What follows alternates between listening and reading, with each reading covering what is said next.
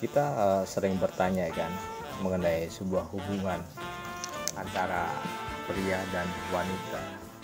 Sebenarnya hubungan seperti apa sih yang paling uh, baik yang harus bisa dijalankan? Sebenarnya hubungan antara pria dan wanita itu adalah hal yang simple.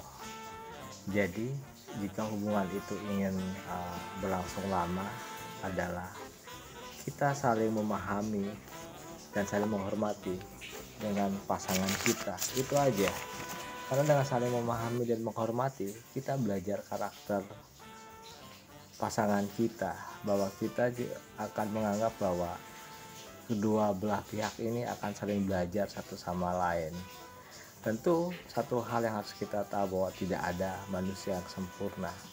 Manusia diciptakan antara laki-laki dan wanita tujuannya satu untuk saling melengkapi dengan saling memahami dan menghormati, maka hubungan tersebut akan menjadi sebuah kekuatan yang luar biasa dalam hubungan itu sendiri.